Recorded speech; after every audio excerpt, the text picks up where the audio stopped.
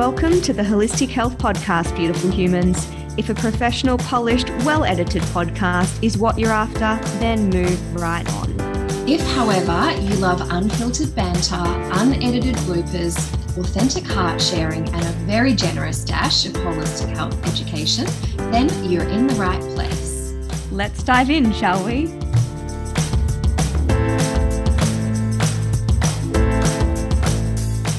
Hello, everyone. Welcome back to the Holistic Health Podcast. We have a special impromptu, somewhat emergency episode that we are bringing you today um, because at the time of recording this episode, we are about, oh, not that not that many days you know away from the end of the most severe floods um, or floods that have been happening in northern rivers of New South Wales. So last week when I recorded an episode by myself, I mentioned to you guys that Amie wasn't able to be with me because she had no power due to the floods. So, Amie, hi, hello, how are you? And can you give us an update of what the heck happened for you? Oh my gosh, I'm so grateful to be alive and so thankful to be in the position that I'm in. Um, at this time, I still don't even really have the words to eloquently share just quite what's going on at the moment and quite what this regional area has just experienced. Um, all I can say really is for my own experience, which was certainly one of the lucky stories, um, that it was a real lesson in how things can go from normal to potentially very, very dangerous in just a matter of hours. So, where I am in Kingscliff, um, we lost power. We were without power for a week. We were without internet for two weeks. This is literally the first day um, that we've had internet. And even then, it's like really sketchy. um, and barely any phone reception whatsoever. And for me, what happened is well, we got cut off by water. And whilst where I am, I'm up on a bit of a hill, so we didn't actually get flooded uh, we were cut off from everywhere else. And three of the supermarkets, there's three supermarkets in that initial area that I'm in, and two of them went underwater, which meant there was only one left to service the population here. And whilst I'm very proud to say, no, I didn't see anyone panic buying things, uh, fresh fruit and vegetables and meat disappeared very quickly, just in a matter of hours. And mm. so did the mm. water. And one of the tricky things about that was there was sewage contamination in the supply water supply, which meant you had to boil it for it to be safe to drink, except you didn't have power to boil it to oh, make it safe mm-hmm. to drink. Um, so that was, you know, that was just one aspect of that. Not having power meant you couldn't keep what food you had fresh. So all of that went in the bin. Not having power meant you couldn't cook what food you had either. And for me, you know, we had a little bit of water and a little bit of like dried food. And it was just, was just a real lesson in how underprepared I think most of us are in the event of a natural disaster. Um, mm. And I'm definitely not an expert in that, but I am schooling myself very quickly on what to do in the event something like that happens again. And, and you know, for one, just to give one example, I was really surprised to learn that per adult, you want to allow for four and a half liters of water a day. So we kind of think, oh, you, need to drink two liters of water a day. And that's obviously a little flexible depending on your size and your own physiological needs. But when you then think about brushing your teeth, cooking, water you might need for cooking and food preparation, water you might need for cleaning up afterwards, cleaning yourself, um, hand washing things, um, you actually need a lot more than you think. And I would also say just a special little mention to uh, those of us that are fur parents. It was also um, something that we were a little unprepared. You know, our pets eat quite a raw food, whole food diet. Our dog only, she's French, she's part poodle, which means she is extremely fussy with what. Very cute. oh, she's adorable. But it was really scary. Like when the water was sold out, you know, I was buying fruit juice um, for the humans because we needed to save the water for the pets because they obviously can't drink fruit juice. And um, trying to get meat for Lily. That's my little spoodle, who, by the way, just turned one today. It's her birthday today. Oh my goodness. Happy birthday, Lily Happy Pies. birthday, Lily. Um, so fortunately, some of the restaurants still had some food, and you know, we would we were ordering like food from the restaurants for her because we didn't have anything that she would eat otherwise. And so it was just such a massive wake up call uh, where you think you know you can easily access what you need at any time of day night week month or year and very very quickly things can go pear-shaped and become very dangerous very fast. And like i said i was one of the lucky ones. So i'm just really mentioning that because i feel like because we live in a country where things are generally very accessible it's very easy just to fall into the mindset that she'll be right. I think that's an Aussie thing anyway. Uh, yeah. And I think, you know, if anyone's listening, if you're listening to this today, I would invite you to look at how prepared you are for a natural disaster. Um, because, you know, the preparation that I thought that we had done was just grossly insufficient, grossly insufficient. Um, mm. And like I said, we're one of the lucky ones. There are still places without internet, without power, which means they can't keep their food fresh, which means they also can't dry down building materials or have any hope of saving their personal possessions. Um, so, even things like, you know, what kind of generator you might have in the event of a power failure are other things to consider. Mm. Uh, but certainly, we're seeing now um, the collateral damage that happens when those things you're unprepared for those things.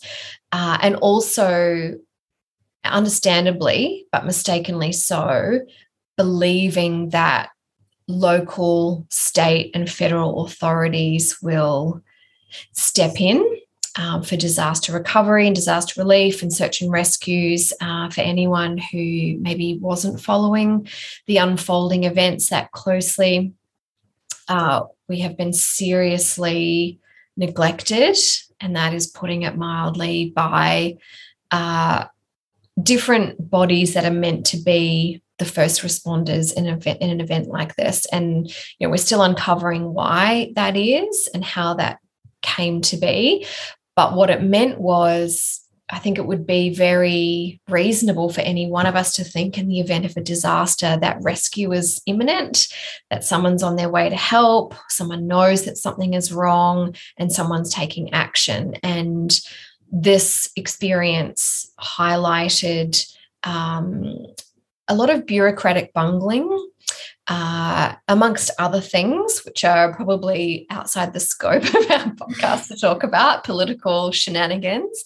Um, but what that really meant that, you know, the all of the rescues that were done, all of the retrievals, all of the um, initial deliveries of food and water and generators um, were done by locals. And I'm just, I, I can't even say how fortunate I feel to be living in a region of just dead set legends mm. who, you know, um, immediately stood up and got up and, and did the work. Um, and thank goodness we, we have that here because you know, it was five days before um, any officials actually decided to take action. And now, two weeks later, we have got some boots on the ground. Um, again, I would suggest that the response is not a match for the magnitude of what people are dealing with, but it's become very clear um, that the best way to prepare is to consider that you're going to have to rely on yourselves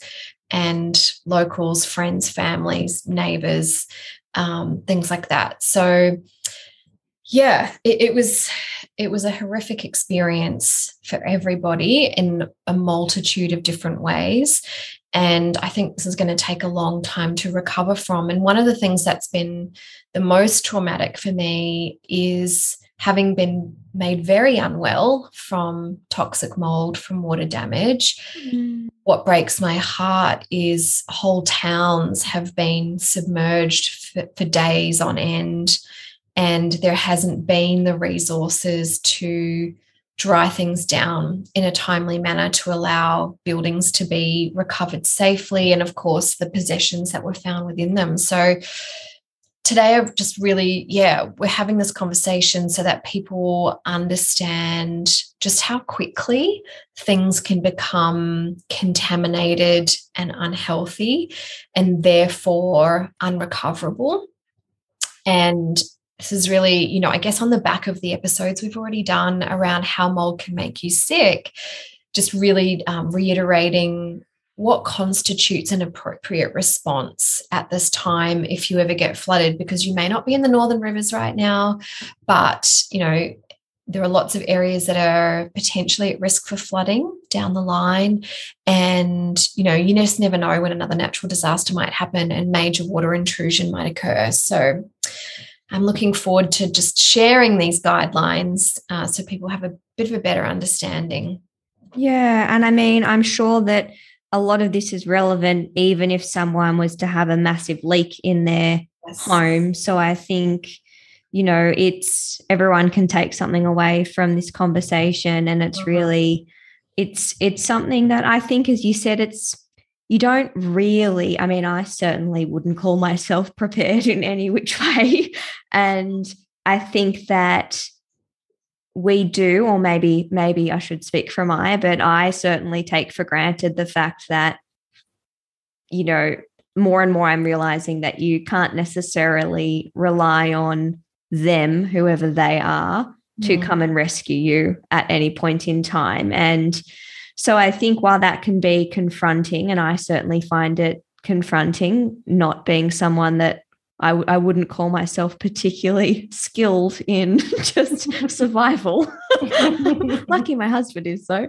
Um, but I, you know, I think it's it's confronting, and I think that a helpful response is to start to learn, even if you're like me and feel a bit clumsy and it feels clunky and and it feels like it's easier to just think that it'll never happen to me. Mm. It's good to just learn. So I think somewhere where I'd love to start is just understanding a little bit more about what happens in the process of water damage or water intrusion. So, what I mean by that is, you know, we're aware that yes, mold can grow, but how mm. long does it take for bacteria or mold to grow after water, ha- like a building or a home or whatever it is, has had water damage. Mm.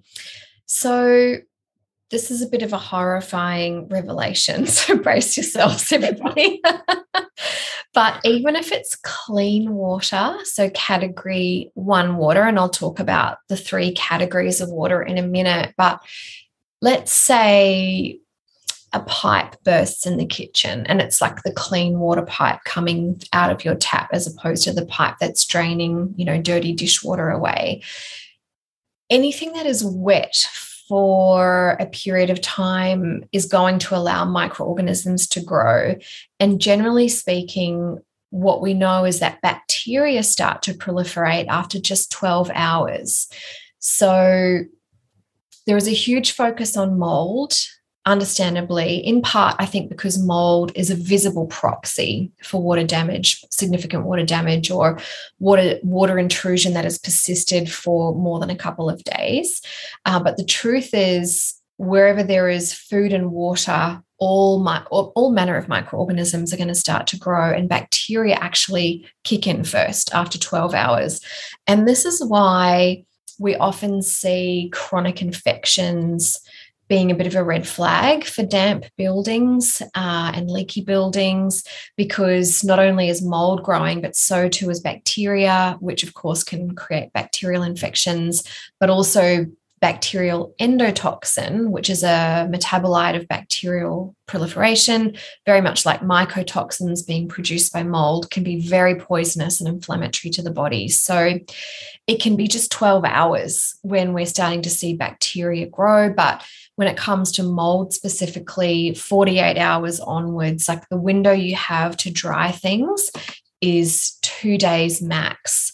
So, what that means is if someone overflows the spa because they put all of this, you know, liquid soap in it, not speaking from experience or anything. That's not. Or someone puts normal dishwashing liquid in the dishwasher because they've run out of that stuff, not speaking from experience, then either um, or you know there's any number of things that can happen in a household um, you know especially if you've got little kids little people or clumsy people you know things can get spilt very very easily. You need to get that dry within 48 hours to avoid mold growing and ideally in less than 12 hours to inhibit bacterial growth.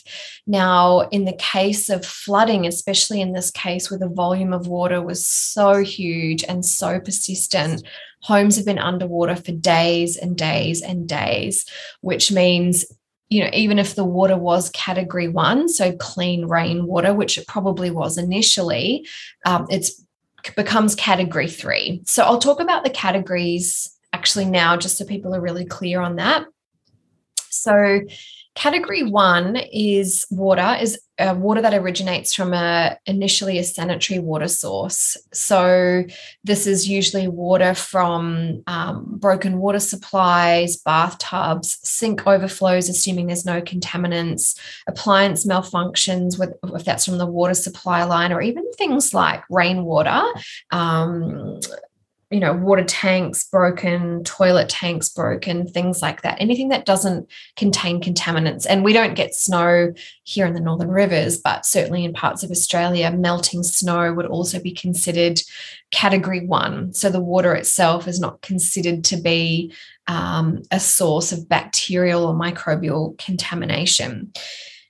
Um, the issue with that is once clean water actually um, moves on from where it came out of, something, whether that's a pipe or a bathtub or a water tank or the sky, it can then deteriorate into category two or three over time. So, untreated water for 48 hours then becomes category two, meaning it contains significant contamination. So, even if the sewage and the stormwater hadn't been Im- impacted by the flood, two after two days of that water just kicking around, it would be considered to be contaminated.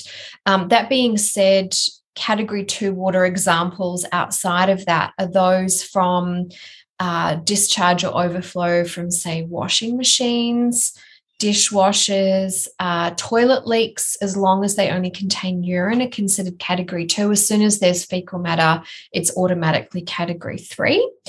Mm. Um, things like a fish tank that maybe um, has exploded or leaked or broken down would be considered category two. So obviously, it's not pure clean water, but it's also not, you know, super dirty either. Um, after 48 hours, so category two water becomes category three. And category three is obviously the most toxic of them all. It's considered to be highly contaminated and containing, you know, harmful agents of any nature. So that might be um, microbial, um, particularly pathogenic microbes, um, toxicants, and other harmful agents. So examples of that are obviously sewage and toilet backflows, um, but anything else that might contain uh, pesticides, heavy metals, toxic chemicals. We can even consider like farm runoff to be in category three. If um, it's, you know, a conventional agricultural approach has been to use, you know, standard pesticides. Um, and all forms of flooding are considered to be category three. So, whether that's seawater, so from a surging king tide um, to ground surface water, in this case, you know, the heavy rains created surface floodwaters, um, any other kind of uh, weather related event as well, whether it's a storm, hurricane slash tornado, um, a water spout, are all considered to be category three just because the contents are so um, potentially problematic. So, mm. with this, because there was such a huge volume of water over such a short space of time, it did unfortunately create backflows through the stormwater system and through the sewage system, which meant what you would ordinarily have thought to have been like essentially clean rainwater running over land was actually just a hodgepodge of all kinds of stuff that it was collecting along the way. And I can actually say as well, you know, uh, I took Lily for a walk on the beach um, a few days ago, and there was so much rubble and debris in the water mm-hmm. and the sea foam was really really thick so you couldn't even really see the water on the shoreline obviously we've had huge erosion with the beach like dunes just stripped away but there was logs in the water and i almost got like taken out by a log coming like coming in with one of the incoming waves and you couldn't see it under the sea foam and so. You know um, floodwaters can be incredibly dangerous for many many reasons but and you know the microorganisms that proliferate or can be found in there are an issue along with debris which at the very least might cause you know surface wounds to the skin um, which would allow you know any microorganisms in the water to get into the body which we're seeing now. You know we're seeing cellulitis sepsis uh, and some other conditions as well related to that exposure, um, some of which, you know, were incurred during the floods themselves, but a lot of them are occurring now where people are trying to clean up and are being exposed to really toxic sludge. Um, you know, all it takes is a little nick on the finger as you're cleaning, you know, this material, and then very, very quickly you can end up with, you know, a blood infection. So, pretty hairy stuff.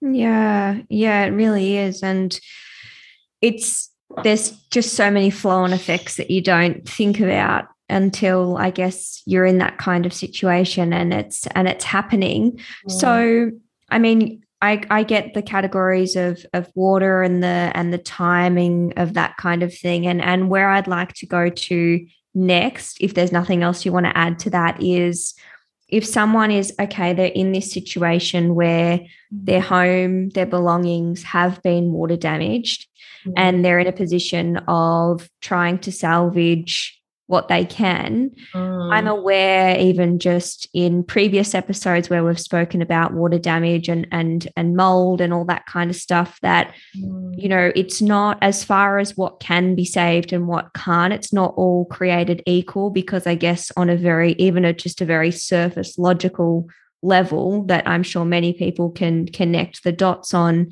something that's porous versus non-porous is obviously going to be quite different but mm-hmm. how like how does how does someone work through what can be saved and what can't be saved and how would you advise people to kind of go about that process mm.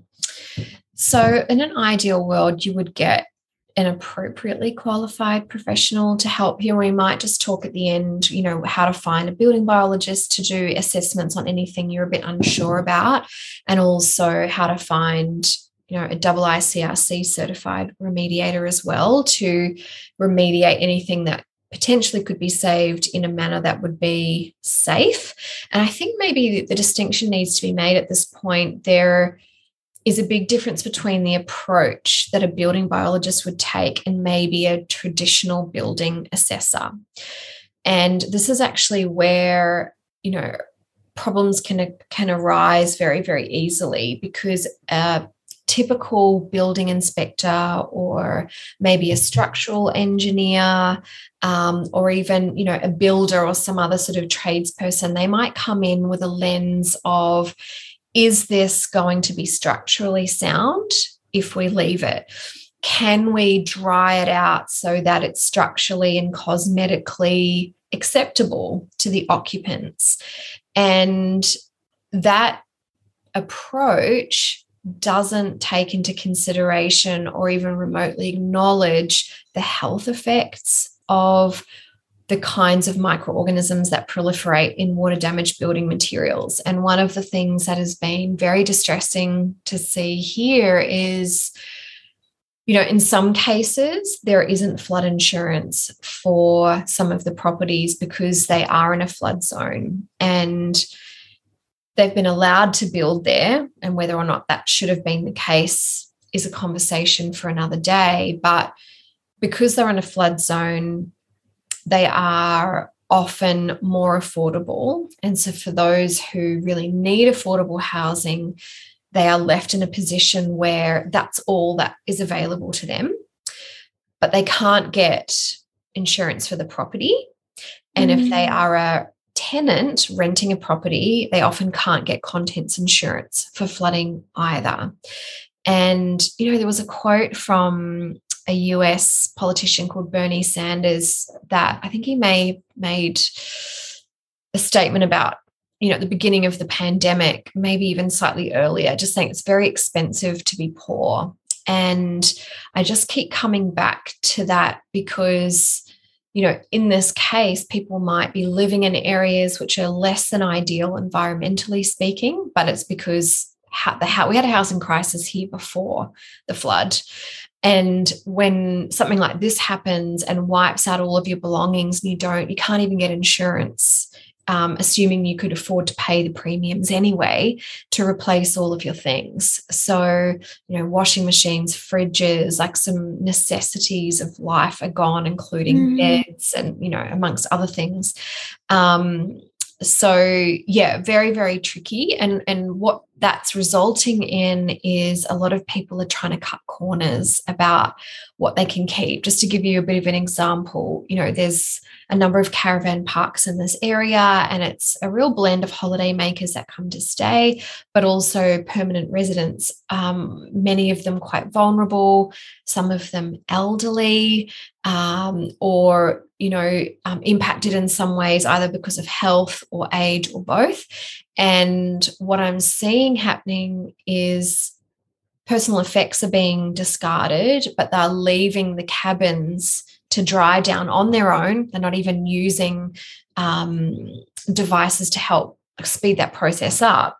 And what's going to happen is those people are often most of them are still in there in the damp and water damaged building and they're going to then refurnish that afterwards and be living in a water damaged property. And because of the relative humidity here anyway whatever microbes are in there are just going to continue to proliferate.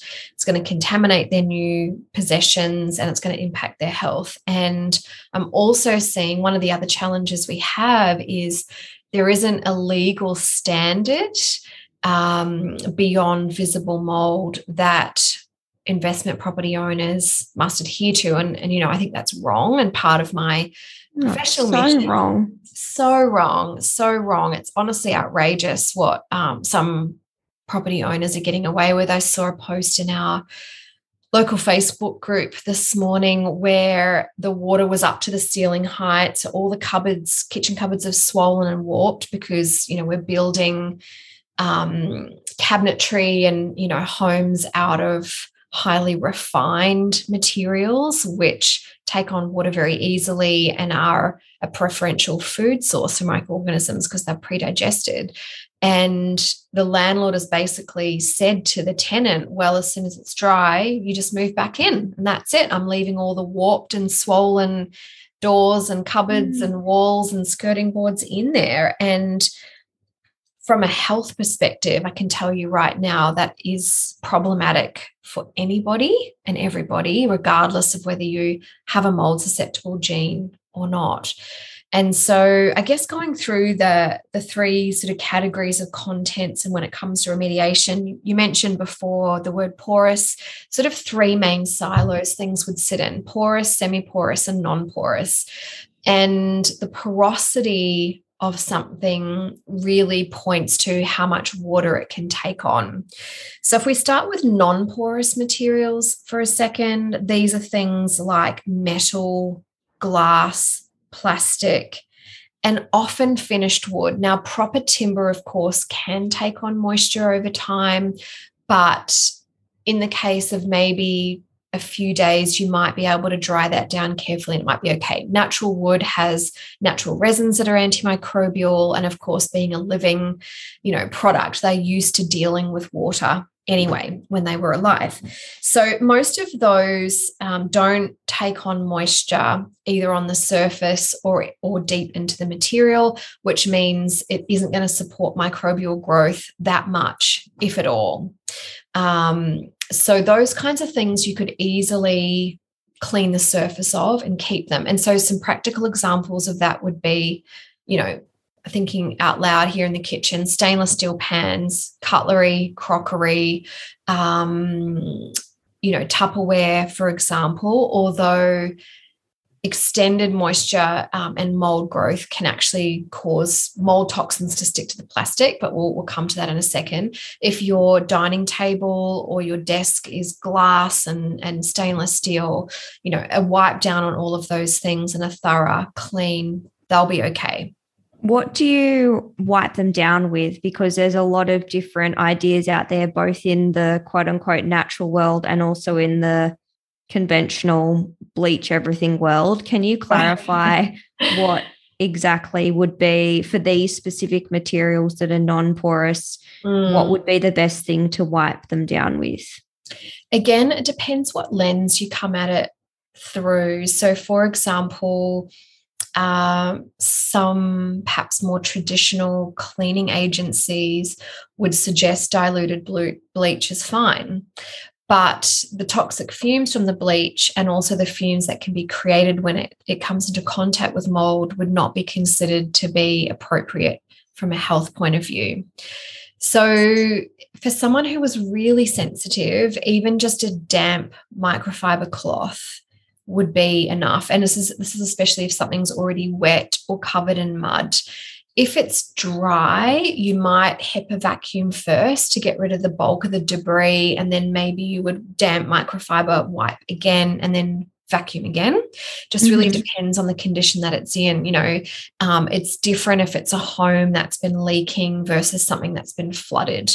So when something's been flooded, it's likely to be quite sodden. It's quite likely to be covered in all kinds of other debris. Like certainly in the case of the northern rivers, there's the sticky mud that's just on everything, um, which mm. you might even need to water blast off um, to sort of clear it enough to be then be able to wipe it down with a damp cloth. But basically, diluted vinegar, you can add clove oil for good measure if you want to, but the antimicrobial component is far less important than the physically moving the spores and the microbes off the material that you're cleaning.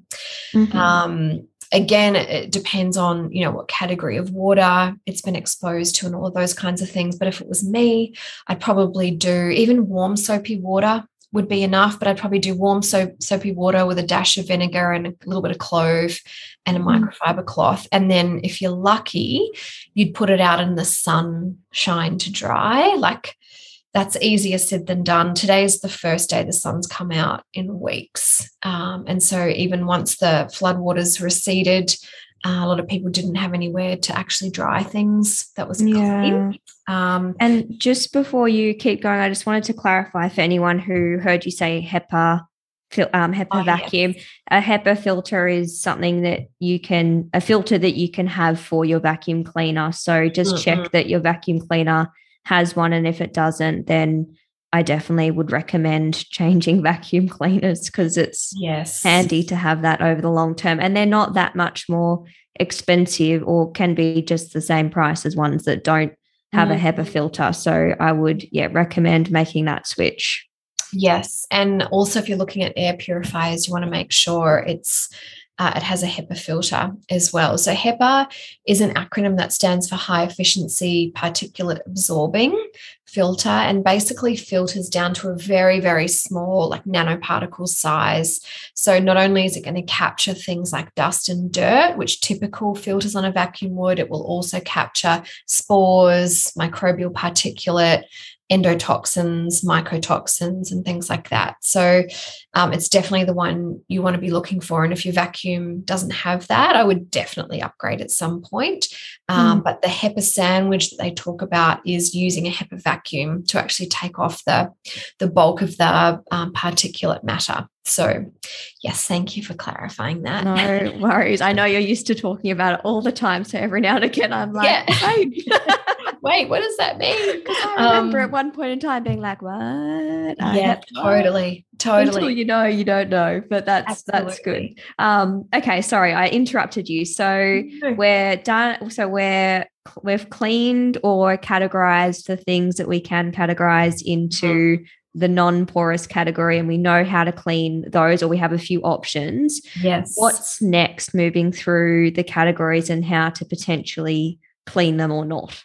Yeah, so the next one is a category that's considered to be semi porous. So things like stone masonry and unfinished wood, so wood that hasn't been um, sealed or lacquered, these things are a little bit more absorbent and can take on water. And again, it depends on the category of water it's been exposed to, the period of time that it's been exposed to that water, as to whether you're going to be able to recover it or not. So, this is a bit of a gray area and would require assessment.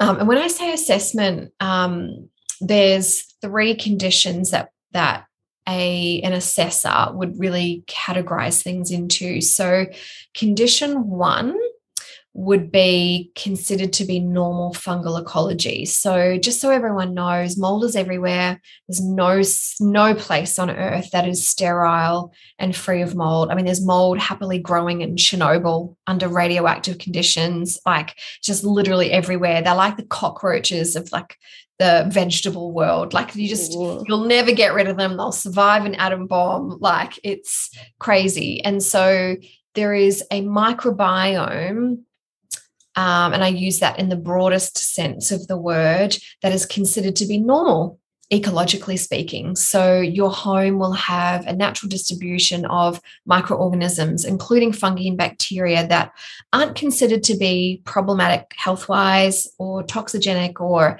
out of the ordinary.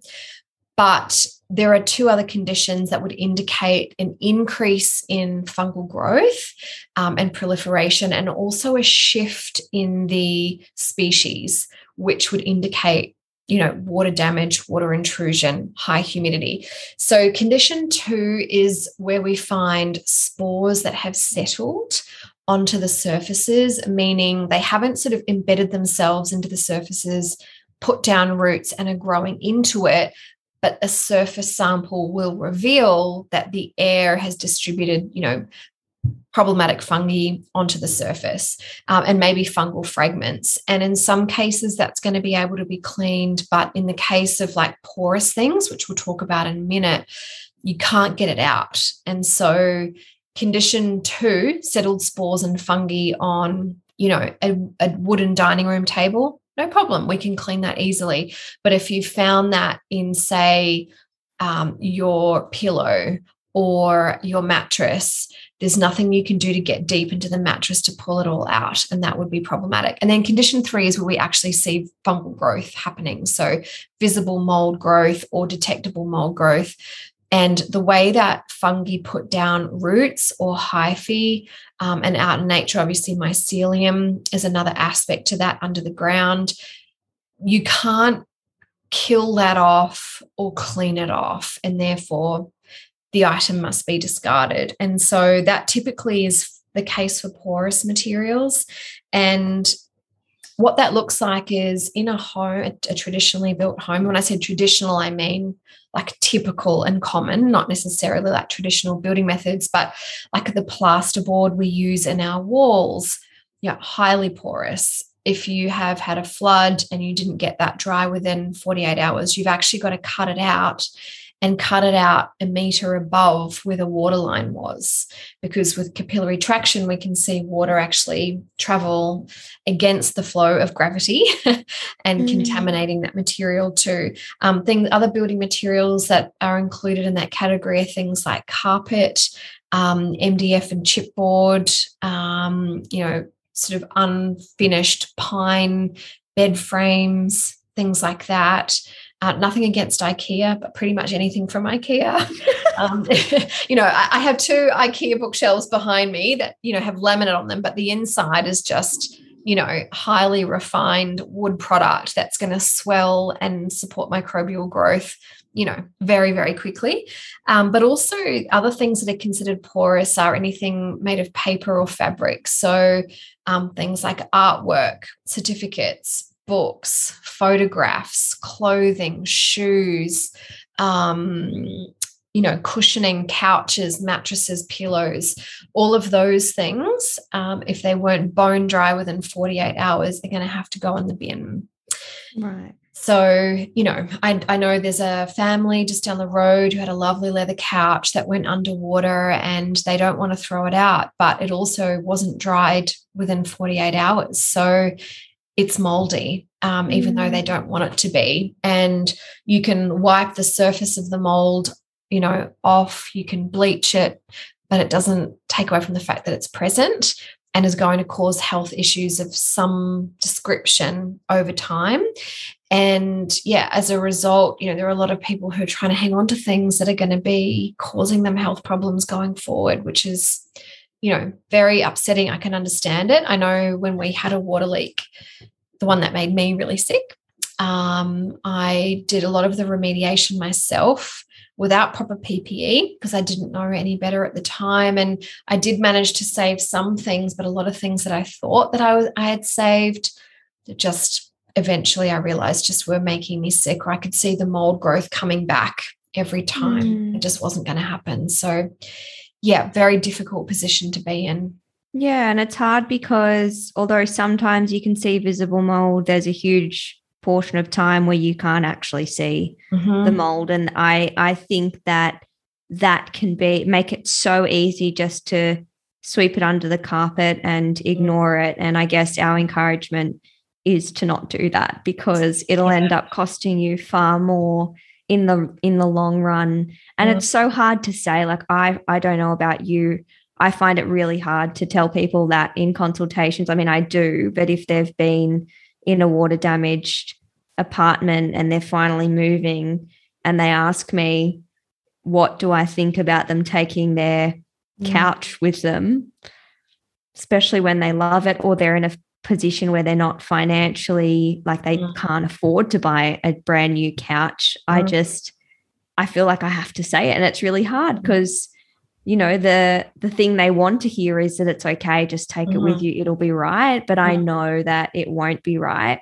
mm. the question i have off the back of that is specifically around the clothes and the shoes so mm. i know you said that um, if it's not dry within 48 hours then in the bin in mm. the instance that they've caught you know the clothes situation within 48 hours how do you advise people washing their clothes. Like, say it's within that 48 hours, their home or whatever it is has been mm-hmm. water damage and they have a chance to wash their clothes and then dry them. Is there anything specific that they should be washing their clothes and shoes in to help um, that situation? Or is it just literally a matter of washing them and then getting them bone dry? Mm. To be honest, um, this is an area where I think a lot of people overcomplicate it.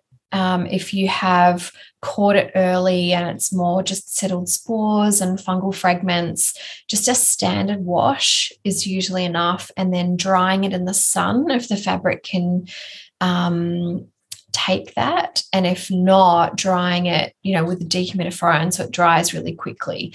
And this is assuming there's no visible mold growth.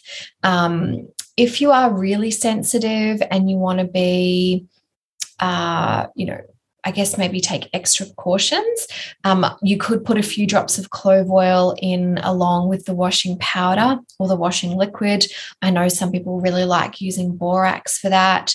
Um, there are specifically antifungal washing liquids you could buy that often use things like eucalyptus. I know there's like a pharmaceutical one um, that Canesten make um, for chronic fungal infections. Sorry, it just makes me laugh that Canesten make it. Okay.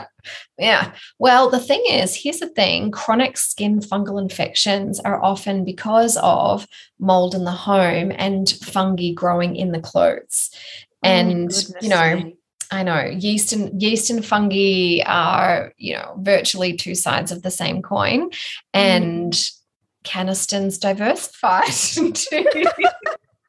cleaning products. Yeah, now, would, Genya clothes. Oh, I mean, that it. would be my last last choice. Um, yes, but I would, you know, I, I've definitely used clove oil. I know people have had good results with borax.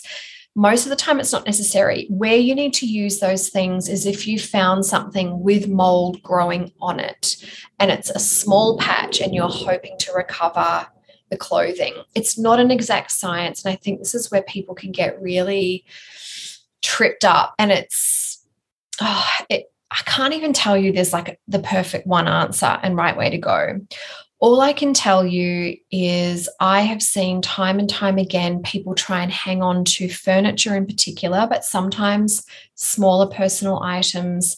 And those items, the contamination has been enough to keep them sick and mm-hmm. continually mm-hmm. trigger their immune system. And, you know, after a period of time, sometimes it's months, sometimes it's years, they finally get sick of feeling sick and go that extra mile and let things go and then they recover. And then of course understandably they become proponents of just burn everything to the ground and start again okay? Because they you know no one wants to continually be sick. Um, the other thing is especially if that illness is affecting your ability to make money like you're trying not to spend money or lose your things but if it's stopping you from recovering enough to work that's a problem um, that being said i've also seen you know, proponents of just literally set everything on fire and walk away naked and buy everything and start from scratch. That would be me, guys. yeah, yeah, yeah. And look, you, not necessarily the right way to do it, just my personality. Well, so here's the thing like, obviously, you don't risk taking anything with you that can perpetuate your ill health and your symptoms. But what I can tell you is so our couch was leather and there was no visible fungal growth. And, and even though it was quite low set, that was actually okay. And yet I had a silk, the certain materials that mold really likes, like the natural materials like silk, linen, cotton, leather.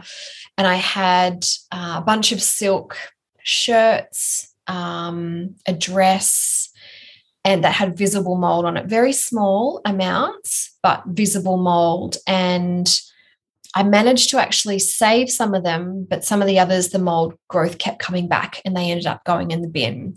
And so it's a bit of a process. And I like I do really understand how difficult it is for people. It's very stressful. Even if you have the means to replace anything, like you know belongings are something that we can be so attached to.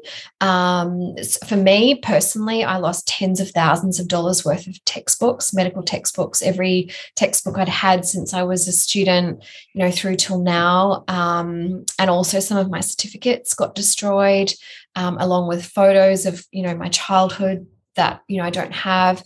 And there are some specialist remediation techniques you can apply to certain things like that if you want to preserve them, but essentially they end up being sealed and encased in, you know, um, airtight glass so that the contaminants don't come through to make you sick. And it's expensive. So you have to really be quite choosy. Um, and, you know, the couch even though I would never recommend keeping a couch, especially if it's fabric rather than leather, a couch is going to be less problematic than a moldy mattress or a pillow because you sleep mm. on that for eight hours. So, you know, if you were desperate and wanted to have something to sit on and we're going to keep the couch but replace the mattress and the pillow well that would be better than doing it the other way around.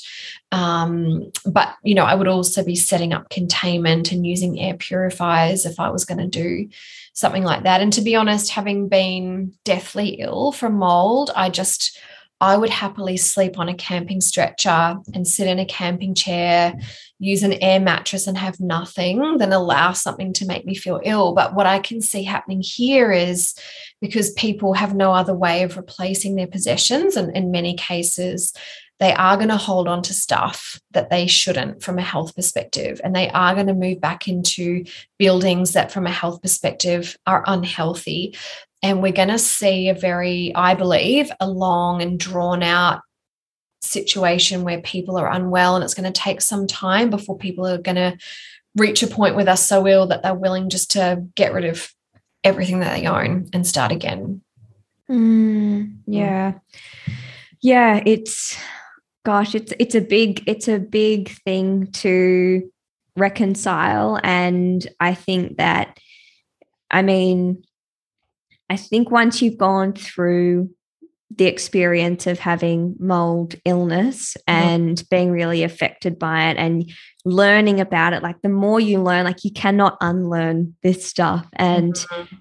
i think that it's a blessing to know but it doesn't make it easy to let go of certain things so yeah, I mean, essentially it's up to each person, but I think try not to ignore mm. these little things because as much as we want it not to matter, mm. you know, it does. Mm. And the road back from mold illness can be a very long, emotionally, physically, financially, mentally, you know, road if mm. if you let things snowball. Yeah.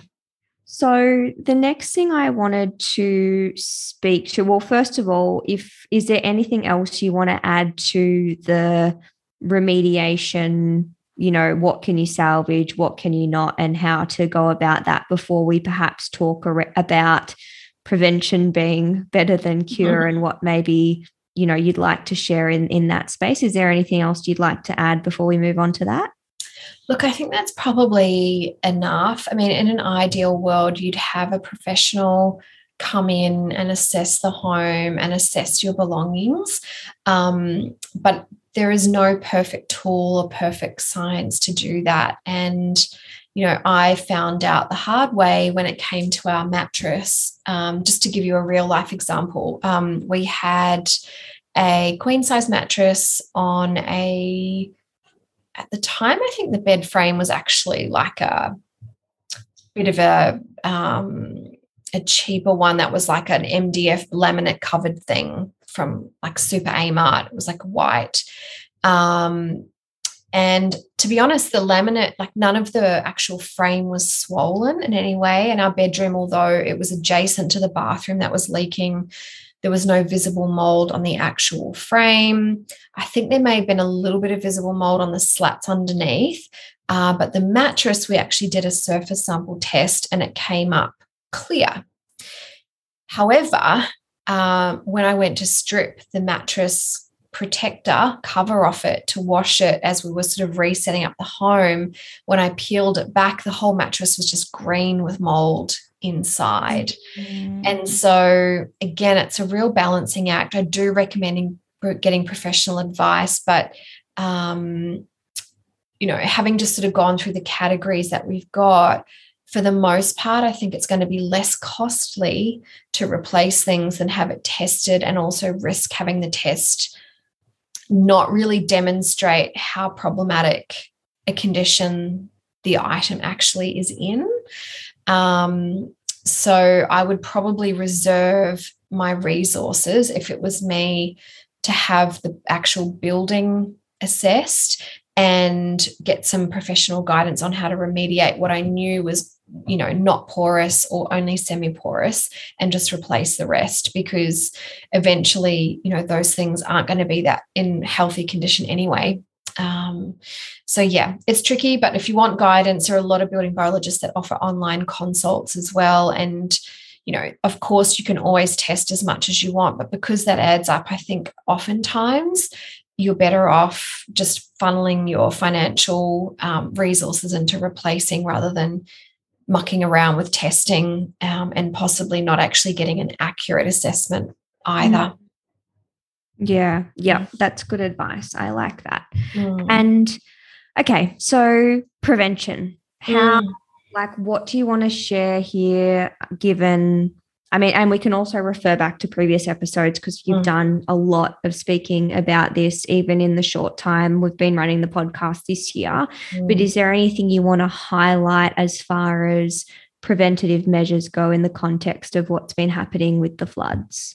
Yeah. So, I guess this is probably just a an unfortunate reminder to everyone that preventing mold in your home is far easier than trying to rescue a property that has been water damaged. And obviously, in the case of flooding, there's nothing anyone could do to prevent that. Um, but in the event you have water intrusion, whether it's from a burst pipe, a major leak, or a flood, the ideal scenario is that you would get your building materials and items bone dry in 48 hours. Now, that was just simply not possible for the people that were affected in this case. The floodwaters were so persistent um, and then with no power. You couldn't run a dehumidifier or mm. any other sort of um, devices that would have dried the home. But let's say you were in a position where you could do that,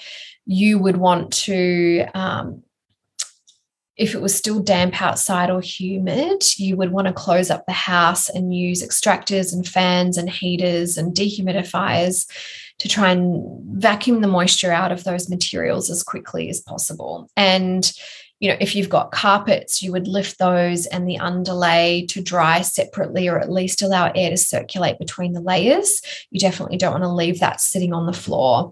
Um, anything can just speed up drainage under the house as well would obviously be really helpful. One of the issues that we're having here is, um, in particular, those little pockets where air movement isn't so prolific. Like, for example, I've got a friend in South Golden Beach whose home was not particularly affected. It was just the garage and the laundry. But because everyone's had to dump their waterlogged belongings outside, the external air quality is really toxic because of all the mold proliferating, because of the mm. debris that's sitting there that hasn't been collected yet. Um, and we don't even know when that's going to be taken care of. So, yeah, close up the windows and allow the devices to do the job if that's feasible. If it's hot and sunny and dry, then you can use fans and heaters and leave the windows open and allow the moisture just to move naturally via osmosis into the outdoor air. Um, but just referring back to um, the three tools that you should ideally have in a household to prevent mold. Um, one of them was a dehumidifier. So, you know, Harvey Norman's completely sold out of dehumidifiers here because everyone rushed out to buy one afterwards. I mm. really just think, as part of home maintenance, every home should have at least one because you know thrills and spills are inevitable as a human being and you know um, the building envelope will deteriorate over time and a roof leak is probably going to be something we will experience at some time. So a dehumidifier would be key. Um, and then of course a moisture meter which you can get very cheaply from bunnings if, if that's your only option is going to allow you to actually monitor things like the plasterboard is it drying up quickly enough? And if it isn't you can actually demarcate on the wall or wherever it is you've got this building material, like what has remained damp after 48 hours, and actually, you know, mark where it needs to be cut out from, as opposed to just maybe tearing the whole thing down wholesale, potentially unnecessarily. Mm. So yeah I, I, mean i think those those things would be really important to have in the home obviously the thermohygrometer which we've spoken about too will help you work out whether the humidity is lower outside than it is inside or vice versa because that's going to determine whether you shut the windows or not like like i said today's the first day we've had sunshine and it's just been raining just constantly which means the outdoor humidity is very high so even if you leave the windows open, you're only allowing more moisture into the wet home. You're not actually going to achieve anything and allow moisture to get out. So that would be something else that I would just say you can determine that because I, you know, I even spoke to a friend last night who, again, wasn't flooded, but is, you know, in this area where it's high humidity. And they were under the impression that leaving the windows open for airflow was still better than mm. closing up the house and running the dehumidifier when it's not because you're just allowing moisture in into all of your things so yeah. it is an area where you know the education just isn't there yet. Um, and even whilst i think the government authorities advice has improved over the last couple of years it's still not where it could and should be. And um, unfortunately there are still practices being promoted like fogging or spraying chemicals to hashtag kill mold when it's really not addressing the issue and not is not the healthiest way to do it either. No. And one thing i wanted to ask you that just made me think of it is what about if someone doesn't have a dehumidifier yet and they're in a situation where the humidity is really high outside mm. and they have an air conditioner mm. would you recommend that they use their air conditioner like is there any benefit to running that um, mm. in terms of keeping things i guess drier Mm, yeah. So air conditioning actually has a naturally sort of naturally inbuilt dehumidifying effect. It's not as effective, I don't believe, as a proper dehumidifier. Um, but if you have the option to run it on dry mode, it gets kind of close. It gets kind of close, and you would be better off closing up the house and running the dehumidifier um, sorry, the air conditioner, especially if it's got dry mode. Now, depending on what, what season you're in, will depend on where you set the temperature. So, the warmer the air, the more moisture it can hold. So, what I mean by that is if it's winter, where you are, or it's cold, I should say, because not everyone's winters are cold. If it's cold and it's damp, simply heating the space that you're in, the home, will lift some of the moisture off the surfaces and into the air, which is a good thing. And then if you have a sort of a split system that can heat and dry at the same time, brilliant. Well, that will work really nicely too. Currently, you know, as of the time of this recording, it's actually still very hot here, even though it's technically autumn or fall, depending on where you listen to this from. Um, and it's still very warm. So there isn't like currently just looking at the thermohygrometer in my office, it's almost 27 degrees Celsius. So it's hot. I mean, you singlet and short weather, swimsuit weather. Yeah. Um, so you don't want to be like warming the air any further. It's going to be um, problematic from a health perspective as a human being. But just simply running the dry mode is going to be really helpful for people there too. Mm, that's good to know because I think, yeah, it's good to know just like what can you do if you've already like with what you've got while you wait. Because I I even have seen online that a lot of these dehumidifiers and air purifiers are out of stock at mm-hmm. the moment, understandably. Um, mm. And of course, they will come back in stock, but it's just good to know okay, if you're in a situation where all you have is an air conditioner, is that mm. of use? So that's that's good to know. Mm. Um, okay, is there anything else that you want to add or that you want to round out the conversation with before we wrap up? Mm.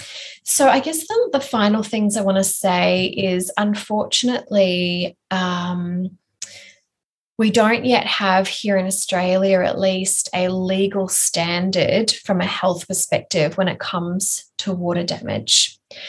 And so, what I mean by that is if you are renting the property that you're in and there is significant water intrusion and water damage, it's quite difficult to hold the landlord to account in order to get the repairs done to a standard that would be healthful for you and anybody else who lives in that building. And so, I guess what I want to say from someone who's had a fair few rodeos supporting uh, people who rent, who's also been a renter inside a property that was significantly water damaged, it is more often than not less stress to simply take them to the tribunal to break the lease and get compensation and moving costs and find somewhere else. Now, the rental market is a bit crazy throughout Australia at the moment. So that's may not necessarily be the case for you. Um, and certainly here with ta- whole towns being wiped out. I mean, I just, there just isn't anywhere else for people to go. I know it's not that easy, but um, I would just say that please know it's more often than not not worth trying to fight to get the place fixed appropriately. And you're better off looking at maybe thinking outside the box whether it's camper vans camping temporarily whatever the case may be. I know everyone's circumstances are different. That's not going to necessarily work for people with children or pets and you know extended families and things like that. But it's sadly quite difficult. That being said the residential tenancies act has been improved in recent years where the home has to be uh, considered habitable for human use, and therefore a building biologist's report, should it reveal toxigenic mold and therefore mycotoxin producing fungi, can be used in order to get compensation if perhaps the leak wasn't addressed properly by the, the landlord or at least breaking the lease.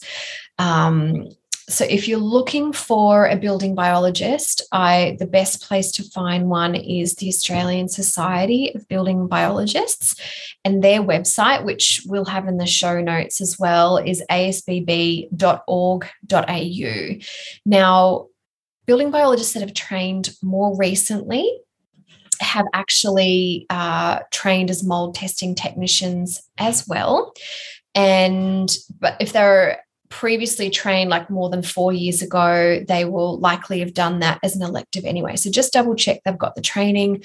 There is also the option to do that training as a standalone, um, which means uh, you know you can just get a mold testing technician in the final thing I would say is certainly they can do a report. If you own the property, it's going to help you work out the kind of remediation you need to do. Um, but it's also going to help give you the evidence that you might need in the event you're trying to break a lease and move somewhere new. And then the last thing I want to say is if you do own the property and you're looking to get remediation done, make sure you're using a double ICRC certified remediator, which and ensure it's not just the company that you reach out to, but the actual person who comes to do the work holds that certification and intends to adhere to the standards and guides set by the double ICRC. From a health point of view, that would be really important too. So I hope that helps uh, you to understand really the magnitude of remediation, what it takes to prevent mold issues in a home, and what it takes to repair them. And certainly, if you have any questions or you're looking for some one on one support, um, you can certainly reach out to me as well. Um, the IICRC website is simply iicrc.org and they have a, um, a button for the global locator literally anywhere in the world you can find someone to come and do that work so the other two professionals that you need the building biologist slash mold testing technician and a double ICRC certified remediator. And between the two of them, they can help you get your home sorted out if that's something you have control over. But yeah, like I said, if you are a tenant, it really depends on how willing and able a landlord is to do the proper work. That being said, in the event of a flood, if they have insurance for water damage, that should be covered. So, in the first instance, can I recommend just a friendly conversation and educating them because most people are completely unaware of, um, I guess, the health implications of this. And that's why it's so important to use people who are trained to assess and address these issues, who are conscious of the health effects and not just coming at it from like a structural point of view or a cosmetic point of view. Mm. Mm-hmm. Wow. Wow. So much good information. I think well, yeah, I mean, on behalf of everyone listening, I just want to say thank you for letting us pick your brain. And I know this is something so close to your heart that in so many ways the mold, the floods being close, friends and family, and colleagues mm. and patients being affected. And I think, you know, we are very open to doing more. Um, you know, questions and answers on this, you can reach out to us and we can put mm-hmm. something mm-hmm. together. But hopefully, this episode, as well as the other few that we've done on mold and healthy homes so far, it's an abundance of information. And honestly, I think this, we just keep finding new ways to mm. reiterate the importance, also, I think, of people definitely keeping on their radar when your mold proof your home course mm. comes up because I mean, gosh, I mean, please take your time to recover yourself, but also you know, wow, what a what a timely course in terms mm. of getting that information out there as well. So we'll make sure that all those links are in the show notes. But is there anything you want to um, wrap up with? Look, I think um, obviously for everyone who's been affected by the flood, there's a lot on your plate right now. So if you're looking for specific help, please just reach out to me. I do offer online consultations and can give you a lot of guidance without ever having to step foot in your home. Um, And if you are impacted, I can absolutely connect you with someone who can come and visit your home in the event that you think that you need that. Um, that being said, so much of it is obviously going to be a problem. You can kind of you can kind of jump ahead most of the time. Um, mm. but yeah i think it is really just a timely experience to highlight why preventing mold and addressing water or moisture issues in the home as soon as humanly possible is just so important. So yeah it's unfortunate that there's a delay with mold proof your home just because the last couple of weeks have been horrific. Um, but in the next couple of weeks that will be ready to go. And if you are someone who has not been impacted by flood or water intrusion so far, but you're a bit curious about whether or not your home has mold. And I actually do have a free webinar coming up in about 10 days called the seven sneaky signs that your home has a mold problem. And obviously, if you can see mold, there's a mold problem. But, so yeah, that's like the most obvious thing. Or if you can smell it, sure. Um, but there are some other more subtle signs that might actually highlight there's a mold problem when it's not so obvious. So if you're keen just to come and have a little poke around and, and really get get a handle on those more nuanced um, signs and symptoms in a home, I would love you to join me. If you do join live, you'll have the option to ask me questions and actually get them answered at the end of the webinar too. Um, but if you need me before that, please feel free to reach out. Now that I've got internet back, I'll be able to see you on the gram. Amazing. Well, thank you. And thanks everyone to listening. We look forward to being in your ear holes again next week.